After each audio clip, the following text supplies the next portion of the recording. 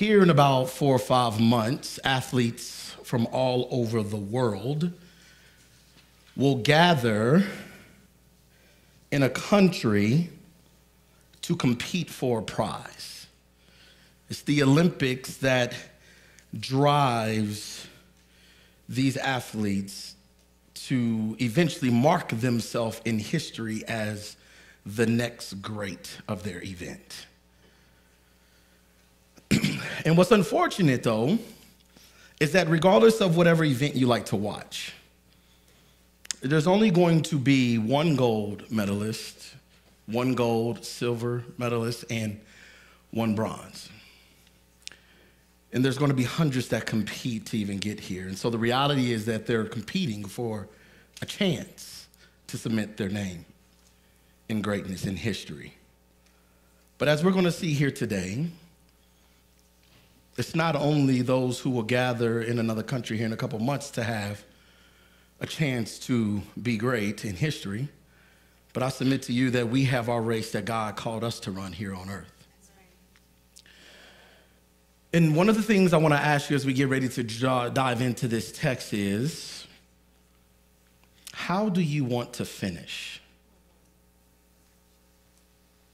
Think beyond just trying to win a gold prize.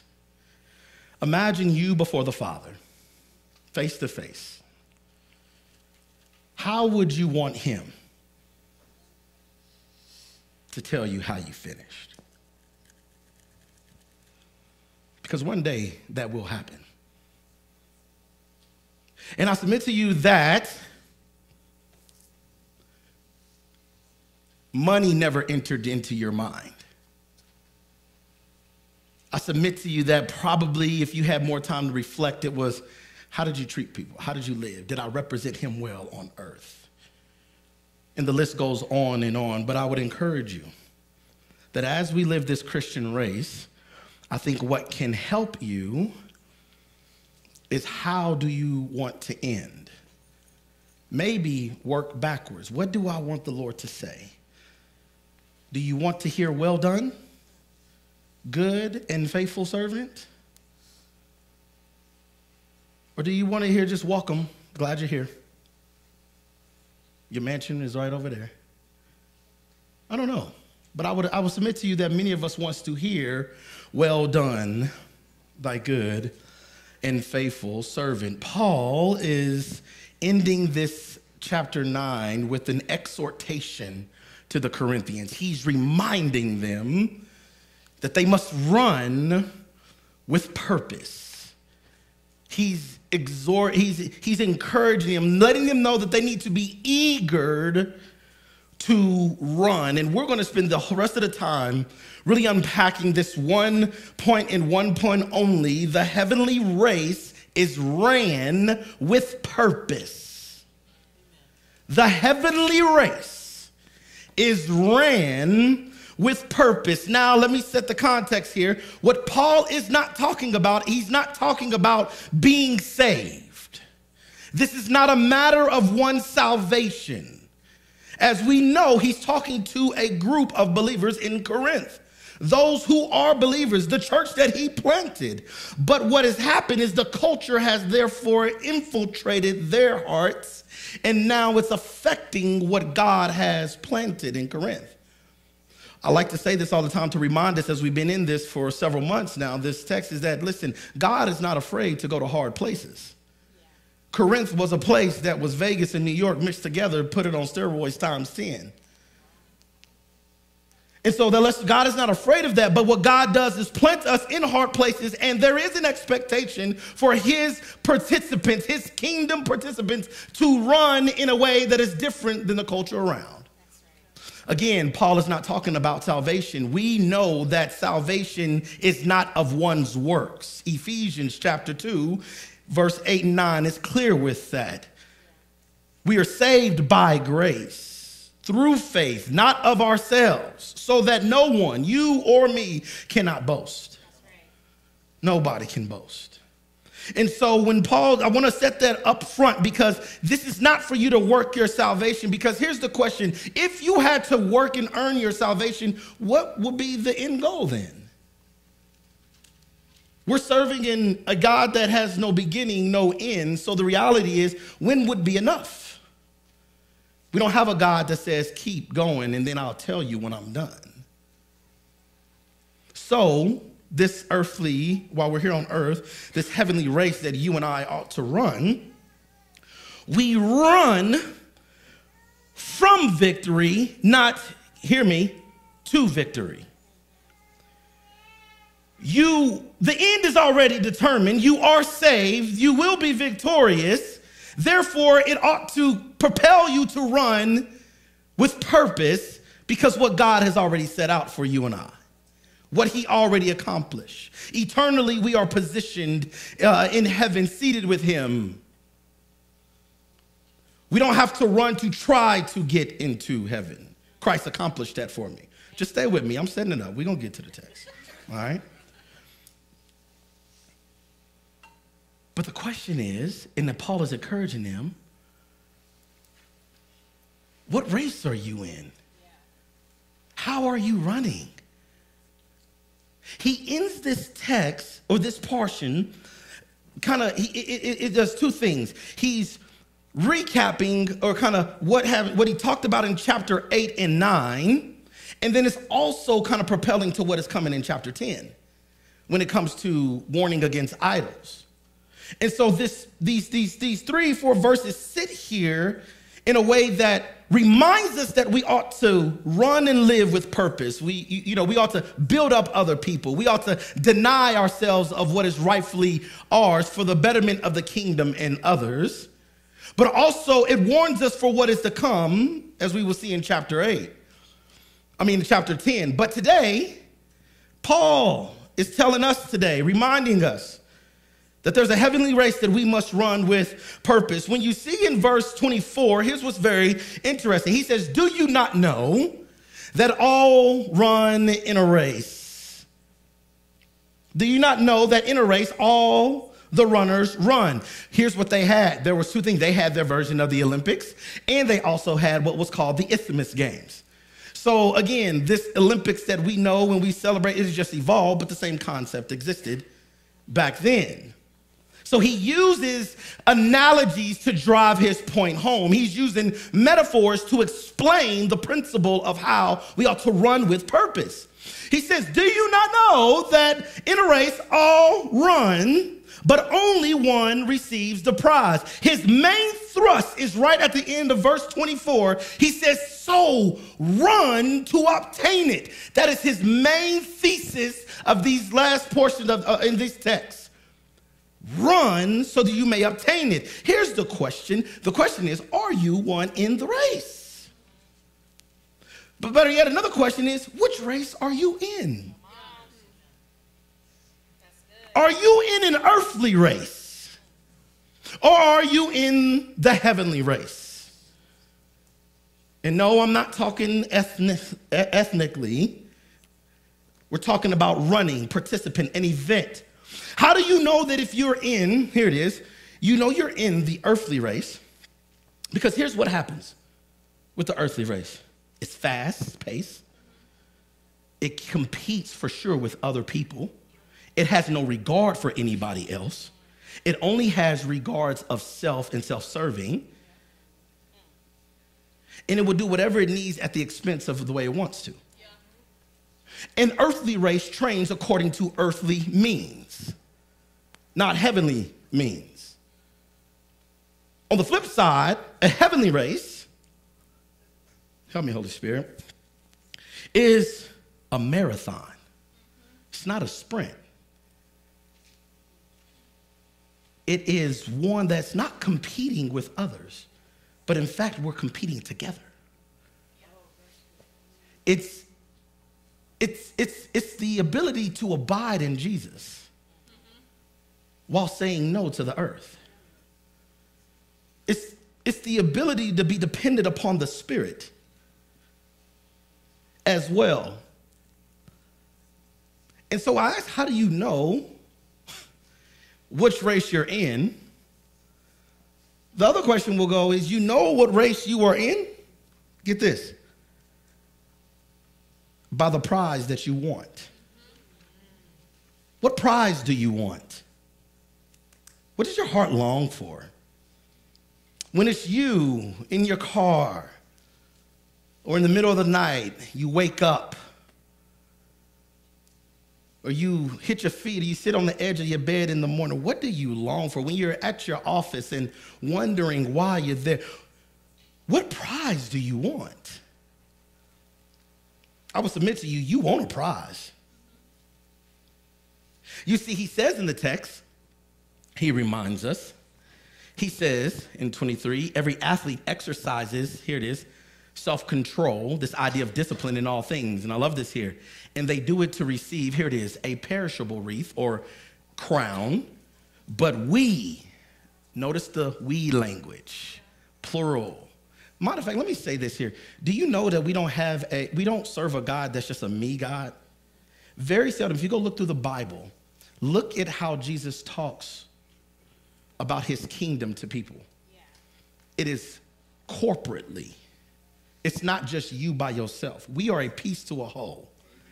Very seldom you will see in there the your God in terms of singular. See, we look in the English translation and it says your God, but really it's translated in a plural your, you all's, your, our God, our Savior.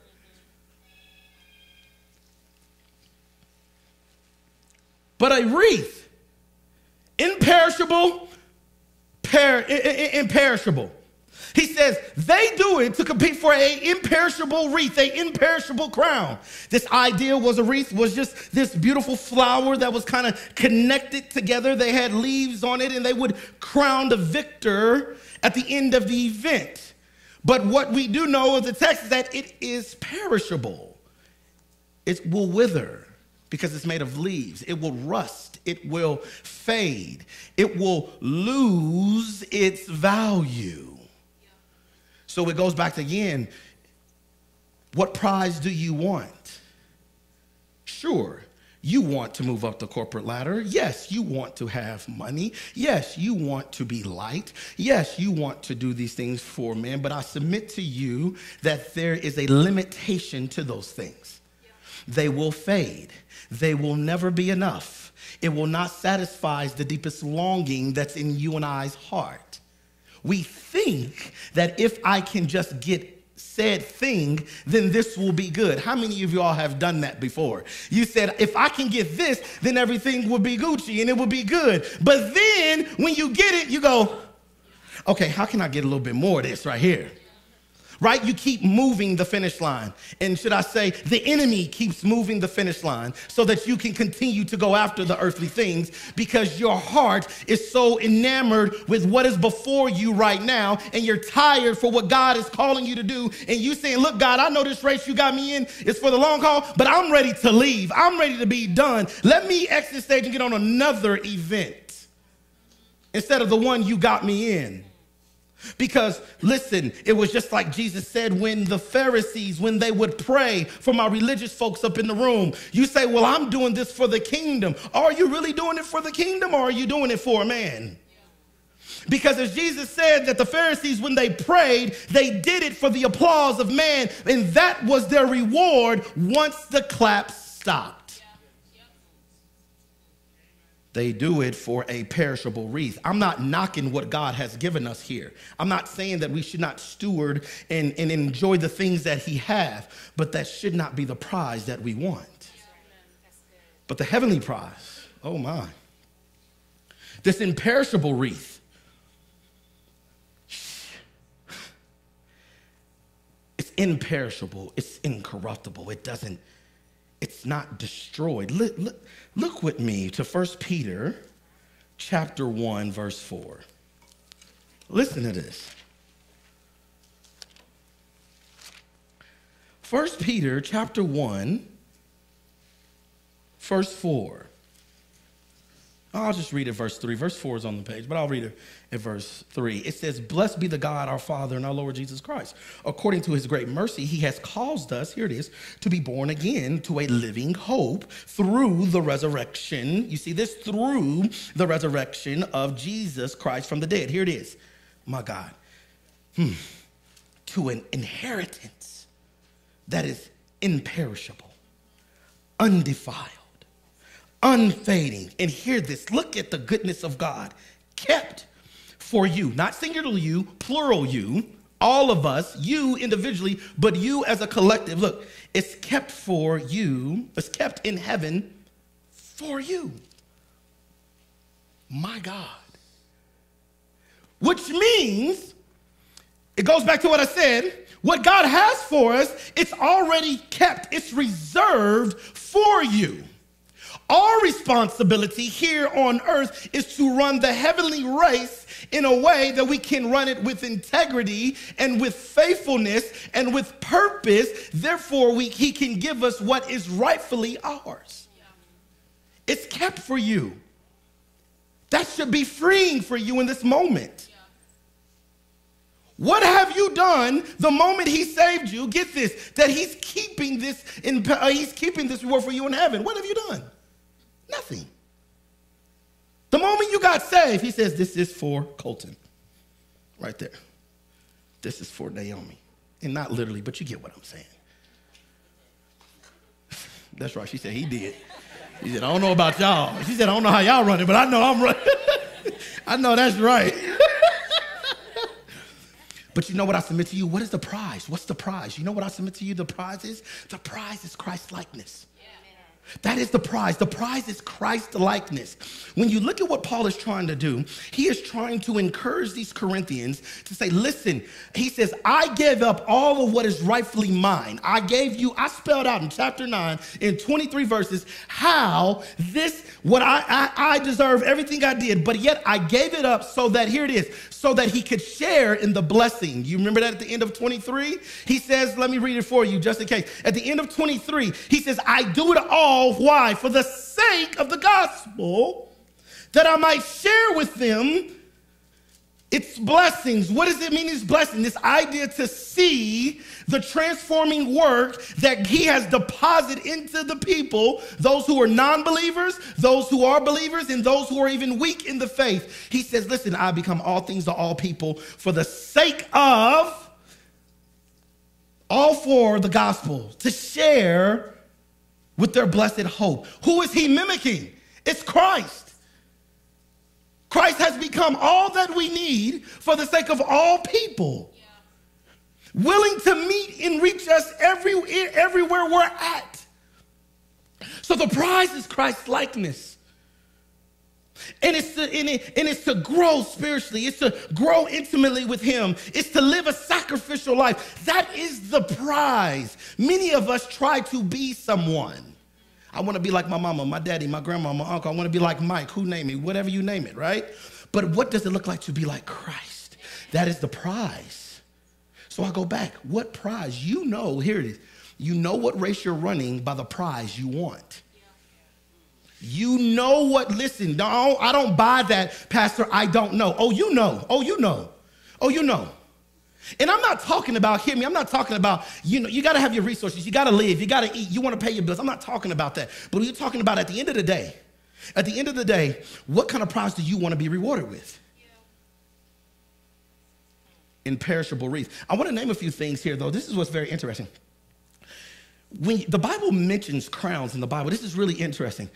It mentions crowns that one will get which is very interesting. So don't get me wrong, Christ likeness is the prize. But we serve a God that goes, hey, you've ran well, you've ran with purpose. I also got some things for you. One, you see the imperishable crown that's mentioned here. Not all of them explain exactly what that is, neither. But you then it says there's a crown of rejoicing in First Thessalonians chapter 2 verse 19 that is the idea of rejoicing here on earth because no matter how bad your circumstance is because god is your savior because jesus is your savior there is something to rejoice about because even though what you are experiencing is painful is hurtful is not good the reality of it is god is uh, uh maturing your faith even when you don't want it to be in the moment. So you have something to rejoice over but even all the more, we're going to have something to rejoice over because why? There won't be any more pain and suffering in heaven. We have a crown of righteousness that he gives in 2 Timothy chapter 4, verse 8 that mentions this. It's you, you get the crown of righteousness because it's through Christ, not through you and me. So even though we run faithfully, each person who endures to the end, we will get a crown of righteousness. Get this, not because of your efforts, but because of the righteousness of Christ that is draped all over you. Come on, praise God for that.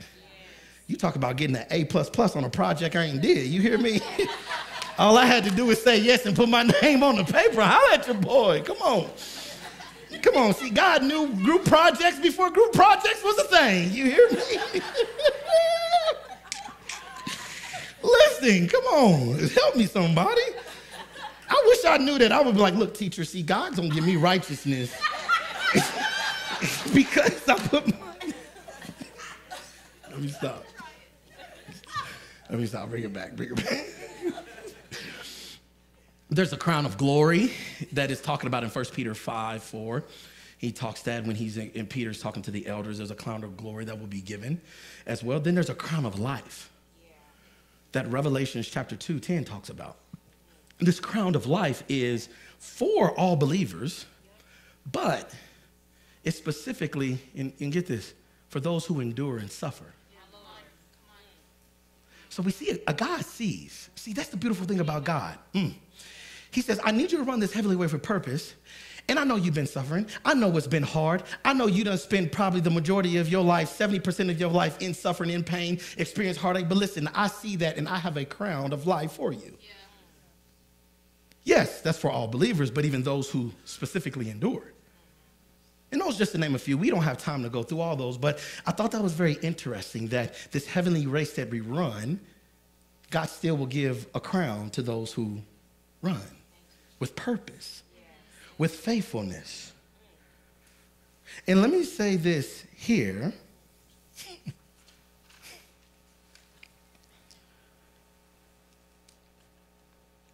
Getting in the race is just not enough. See, we think I give my life to Jesus Christ, therefore I'm good, therefore I ain't got to do that. Listen, I we can sit here and argue theologically all day. Is there such thing as a carnal Christian? And, you know, if they're not bearing fruit, and we can go back and pontificate and hear and all this back and forth and all that jazz. But what happens with some of us is we think that we get saved and I'm just good enough. We think that I come to church, that's good enough. I just show up, and it's really what I'm describing is religiosity, right? I just do the things to look like I'm doing something, but really ain't doing, but but I really ain't trying to run Listen, you got to actually get in the race. You can't just be a spectator. When the gun goes off and says go, many of us just wants to sit into the blocks. There was a woman in the Boston Marathon some time back. She ended up winning the Boston Marathon about a mile, a mile or so a half, a half of everybody else. And the people were really perplexed. One, this woman has never ran in the Boston Marathon at all. And if you know anything about the Boston Marathon, it's grueling. I mean, it's a very honorable thing to win and to participate, just to even finish. But they start scratching their head. They're like, how did this woman who has never ran this race before win by such a large margin? Something just ain't right. So they started to do an investigation, and they started to do investigation. What she did was she started the race with everybody else. Bam, took off. But somewhere along the way, she made a little detour, got off, and got on the subway. got on the subway, kept going, and once she got on the subway, she got to a certain point, got off, and she just kept on winning that thing. and got there and took the crown and all that stuff. Listen, they was like, hold on, wait a minute. We laugh, but that's how we run in this kingdom race. We start off well and you're in God and you're abiding in Him and you're basking in His presence and you're on fire for God. But then, yet, suffering and tribulation comes.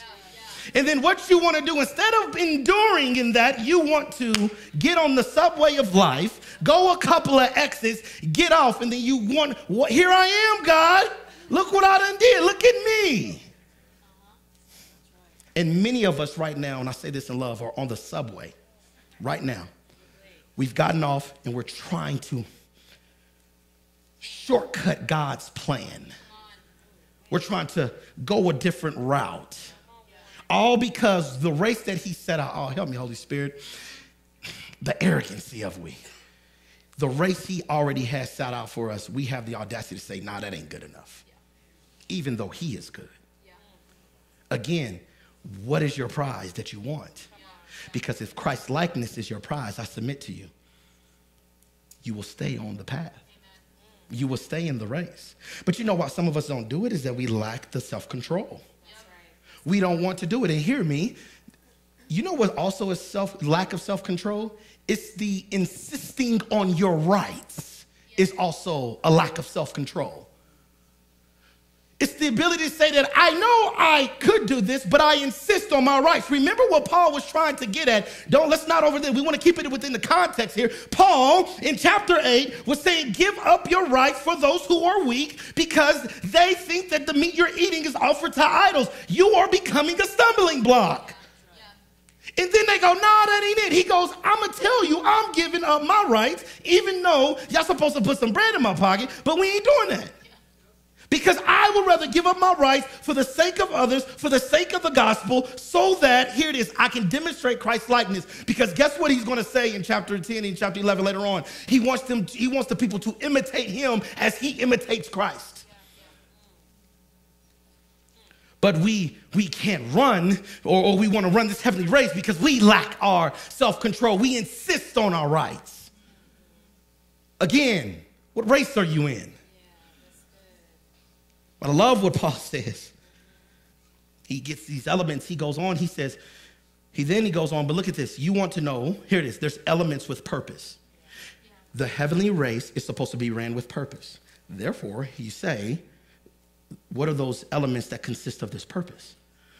We see here in the text, Paul says in 26, he goes, I do not run aimlessly. Then he says, I do not box as one beating the air. He uses two and now he goes, one, when I run, I run with a purpose.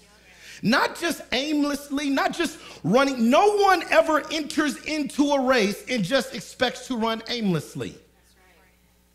Some of us has went to school and we got degrees because the race that we want to become is a you name it, a doctor, a lawyer, a marketing, accountant, a teacher, a CEO, whatever the case may be. He says, I do not run aimlessly. I have purpose when I run. Yeah. Which means not, not only purpose, he has focus. Yeah. Yeah. What is the element to purposeful running? It's focus. He uses this analogy I don't box as one beating the air because training boxers do beat the air when they're training. But really, when he uses the analogy, he says, No one gets in the boxing ring and starts beating the air. Let me know how that fine goes out for you. So he uses these two analogies to drive home the point that there is focus for him and there should be focus for us in the heavenly race. Hebrews chapter, 10, uh, chapter 12. It's on the board, verses 1. Listen to this. Focus. You're running with focus here. Chapter 12. I love this. Starting at verse 1. Therefore, since we are surrounded by a great cloud of witnesses. I love this here. You want to run with focus? Let's walk through this. Lay, let us, here it is, lay off every weight some of us got to take off some things right now. What is God? What is holding you back? What's weighing you down? Is it the approval of man? Is it the approval of your spouse? Is it the approval of your boss, of your job, of your mom? Is it because that you're not where your siblings is at, so therefore you envy them? Are you are you do you have hate weighing on you? Do you have bitterness weighing on you? Do you have um do you have arrogancy waiting on you? I don't know. But sometimes the Bible just got you gotta ponder. It says that lay off every way. It says, let us lay aside a participant of it, right? You see that? Let us lay aside every, not some, everything, which means that some things that you think is good for you ain't good for you. Which means you're gonna have to sit before the Lord and ask the Father, God, what do I need to let go? And when He tells you to let it go, don't tell Him no, but say, okay, I'm gonna trust you. I don't like it. I hate it. I want it. I need it. But you said let it go, and I will let it go. He goes on. He says, let us lay off everything, every, every weight. I love this. Ah and sin which entangles excuse me, sin which clings so closely. That's right. That sin is there. And it's, you know, but let me stop. I got, let me keep going. Sin that is so close. He, then he says, what? Look at, look at it again. Let us run. Here it is with endurance. Yes, right. The race that is set before you, before us. Looking to what? Focus, looking to Jesus, the founder and the perfecter of our faith, who for the joy set before him, before him endured the cross, despised the shame, and is seated at the right hand of God. Excuse me, is seated at the right hand of the throne of God. You ain't the only one that got to endure some things. Do you know what helps me when I don't want to endure? I go, surely if Christ can suffer on the cross for me, surely I can make it through this. Now, that doesn't mean that I don't have tears and snot in my nose. That don't mean that I don't feel the pain in my body or my soul aches. But what gives me the strength to endure is to know that what Christ has set out for me, he, therefore, Christ has already set his race out before him, and he went to the cross. Despise the shame for you and I. You ain't the only one got to endure. You ain't the only one that got to experience shame. He took on the shame. Help me, Holy Spirit. Praise God. Listen, which means that some of us, let get this, he took on the shame. You ain't got to take on that shame. Somebody needs to be free of that right now. Amen. Because at the end of the day, listen, we live a life that many of us think that we got tomorrow. Oh, mm.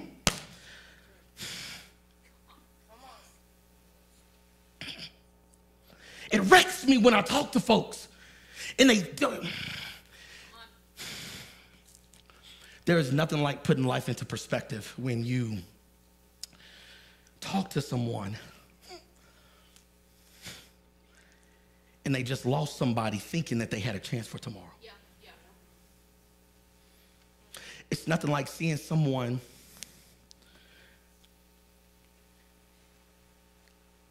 die because they bore the shame of their sins. Yeah, yeah, yeah. And they said, This isn't enough. And there's some folks that want to commit suicide. And I'm not, I'm not, I'm, listen, many of you probably have thought that. It's better just to leave this earth.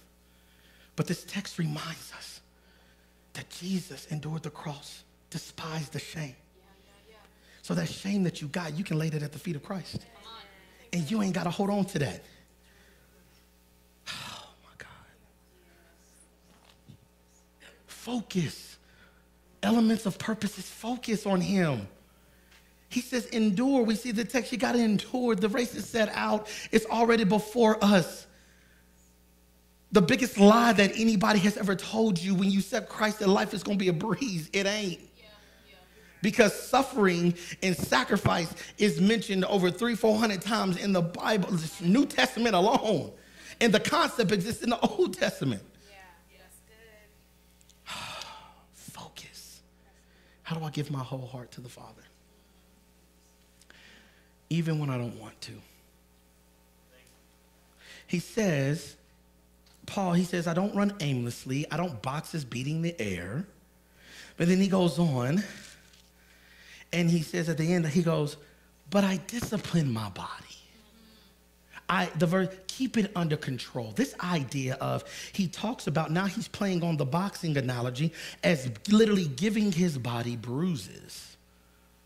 He's not saying he's literally beating himself, but what is embedded in this context is there's hardship and suffering which means that he is willing to discipline and endure the race that God has, and he will experience. I believe Paul is saying that there's going to be hardship and suffering because if you keep reading Paul's life, he got beat literally for the gospel with rods, right? He got thrown into jail. And so, this idea of running the race, get this, he does it so that what? He disciplines his body and keeps it under control. There's this idea of mastery that he's saying. So, there are some things in life that is going to be hard.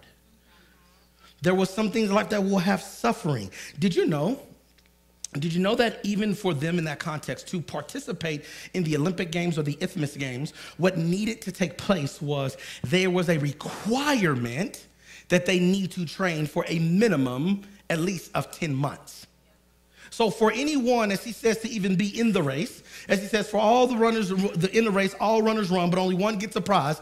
Even in that context, if you were going to participate in the Olympic Games of that time or the Isthmus Games, there had to be a minimum, no matter, no matter of fact, uh, training of 10 months. Then you think about even just, it made me think about even just, well, I was just curious, just, you know, I was like, man, how much does like a, the average Olympic person train for that? And I just looked, and it was just not just, not just sprints from gymnastics to swimming, you name it. And on average, what they typically say is that these people train, get this, for at least 30, some anywhere between 20 to 30 hours a week, here it is, for four years. For a chance to even step on the podium. And it ain't guaranteed. And the reality is that it reminds us that even in this Christian walk, if there are disciplines and trainings that we have to do to be great for perishable prizes here on earth, which means that it requires us to have some training as well. Some kingdom training, some godly training in this heavenly race. Titus chapter 2, one of my favorite verses, reminds me, and I want to remind you all of what it means here to train. Look what it is. Titus chapter 2 Hmm. Verse 11, I'll read 11 through 13. It says, For the grace of God has appeared, namely Jesus Christ, right? To bring salvation for all people. You see that he, he's salvation for all people, but I'm glad it doesn't stop there. It tells us to do what? Training. When you look at the original text, this idea of the grace of God can therefore then be transferred down to that aspect to continue this one thought that Paul uh, uh, that, that, that Paul is trying to write to Timothy. So the grace of God comes to bring salvation. The grace of God also comes to do what? Training us. You remember what I said earlier in the kingdom race? It's about us, not always about you. Training us, and I love this, to renounce ungodliness and, and worldly passions but it's also training us to do what? Live self controlled, upright, and godly lives in the present age. Then it goes on saying, waiting for our blessed hope, the appearing of the glory of our great God and Savior Jesus Christ. This idea of training to renounce ungodliness, worldliness, but also to live a live self-control, upright, godly lives. You know what that requires? It requires for you and I to cooperate with the trainer. We have the best trainer in the world. Some of us are skeptical. We try to lose weight and we want to go get a trainer, and you get skeptical you like, man, are you just out for my money? Are you, if what you're really trying to do is it gonna help me get to where I need to go? I'm trying to get my body right and tight, and what we doing? This ain't helping right now. These are silly things you got me doing. But then when you stay the course and you start to realize, oh, okay. A month later, you look at yourself, you be like, hey now, right. You be like, dang. Who said them 20s had to stay in the past? they do though sometimes. Some, some things you're gonna start, come on, can't wait to the new earth, heavenly body. Let's go. Um, but hear me though, hear me this. Listen, listen, listen. And also, the training requires, in order for this to be done, in order for you to run purpose, not only does there need to be a focus, there needs to be a focus as we see, but there also needs to be discipline. There needs to be training. But the training only works if you cooperate with the trainer. And if you've been living this Christian life any long, you know God is not going to force you to do anything. He, what I'm saying is that there is a free will of the man and woman. And if you want to continue to harden your heart, he will go, okay, we're going to harden your heart. But if you're willing to submit to his training, submit to his leadership, submit to who he is and what he's trying to do in your life, I submit to you by God and his word, you will therefore start to look more like Christ yes. here on earth until Christ comes again. And I love what Romans chapter 13 tells us. I love this language. When you look at the Bible, it always speaks of this active language that we have to do. In part, Romans chapter 13, verse 14 says, Put on Christ Jesus. Why? Make no provisions for what? The flesh to gratify its desires. You're gonna have them, family. You're gonna have the desires, but the question is when you suit up for the race, are you putting on the earthly garments or are you putting on righteous garments? You have a choice in God's kingdom to put on Himself, but many of us don't want to. Because Paul ends and says this I do it less when I preach, I disqualify myself. What he's saying is that I don't want to look like a hypocrite what I'm preaching. I don't want to disqualify myself for the work that I've been doing, depositing these things into them, into the men and women that God has brought me, that brought in my life. He's not talking about forfeiting your, your, your salvation. That's not what he's talking. I do not believe, based off text, that when a true, hear me, a true conversion takes place, the Holy Spirit seals us. So many of us will get to heaven, but who just wants to just get to heaven? I'm not minimizing it. I'm not. It's going to be great. But if the text is telling us that there can be crowns for us that's reserved for us, why would we not want to obtain it? Some of us got an inheritance that's coming when our parents pass. Some of us got that. Some of us building that for our children so that when they reach of a certain age, they can have something to leave down a legacy. I'm not against it. I think that's great. But I'm trying to let you show the concept still exists even in Christ in kingdom. He says, so I won't disqualify myself. You know how you and I disqualify ourselves? Just don't train with what God's telling you to do. That's it. I'm not trying, it ain't no, what, you want to disqualify yourself? Just don't do what God tells you to do. Sure, you'll get to heaven. Sure, you'll, you'll be up there with us as well. But as we read earlier, it'll be tested. Your works will be tested. And if it's built with wood, straw, and hay, it'll burn. You'll be saved. You know how you also disqualify yourself? Just don't run the earth, don't run the heavenly race. So not only don't do what God tells you to do, because you, you want to run his race using your own training, but not his. Disqualify yourself, just run the earthly race. Never submit to him. Never abide in his presence. Never just be with him. When's the last time you got before the Father? Some of us need training with the Father, not just with prayer, not just with coming to Bible study and reading our words. Although those some things are true. We do need to read our words. We do need to study the scriptures so that we can be able to run and remind ourselves of what God is doing here on earth. But some of us struggle with one of the training of just abiding and being in the presence of Jesus. When's the last time you sat before the Father, didn't ask anything, but just enjoyed who He was? Because I submit to you that when you start to just enjoy and be with Him, you will start to run differently. You will. Not because He's forcing you, but there's something about the glory of God that when you open scriptures, when you sit before Him, whether it's with tears in your eyes or joyness in your heart, it's something that compels you and you say, Man, I want to run and serve you well, Lord. I was thinking about this song. I was listening to this song called Every Mountain. And it says, it says, For every mountain you have brought me through. I just wept because I knew there was some mountains that Lord has brought me through. And it just compelled me to go, listen, I know you brought me through this mountain and I was not faithful. I was kicking and screaming. I was trying to get on the subway. Matter of fact, I got on the subway and tried to outcut you. but yet his faithfulness came and brought me through. It was 1992. Derek Redmond was the favorite to win the 400 meters in the Olympic in Barcelona. He was the favorite to win. The gun, here it is, trained four years, remember to get there.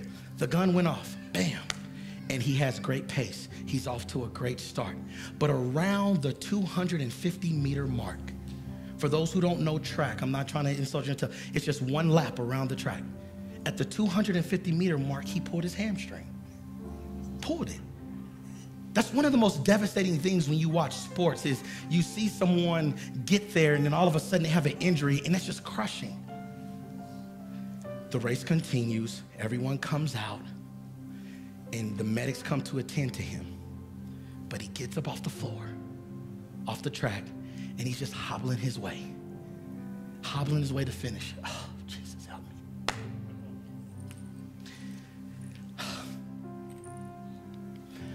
There was a man that all of a sudden came out of the crowd, hopped onto the truck. Said he tried to stop them. It was his father that came and put his arm around his wounded son. And he said, Father, I gotta finish. He said, Well, we gonna finish this thing. Yeah.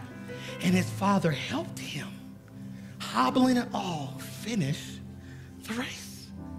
What a beautiful depiction of the Heavenly Father. There's some of us that have started well. We have been running well, and then bam, life just just, just derails us. Whether we caused it, because we do, let's just be honest, or if life just happened itself at the hand of other people and it does something to you, but I submit to you that Father came down, He sent His Son Jesus, came down to the, to the earthly track and He wrapped His arms around us.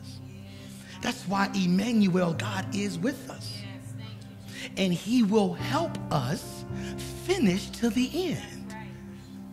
But many of us, I, you want to shoo him away because you're hurting and because you're mad and you're frustrated and you're angry and you like, I done did all this just to experience this. But I submit to you, put the arm down, let him embrace you and let him help you finish. Yeah. And I love that. Listen, and at the end, it wasn't about getting, it wasn't even about getting the prize.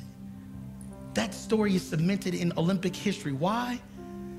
Because Derek Redmond finished the race with the help of his father. And so that's what I submit to us today. What race are you?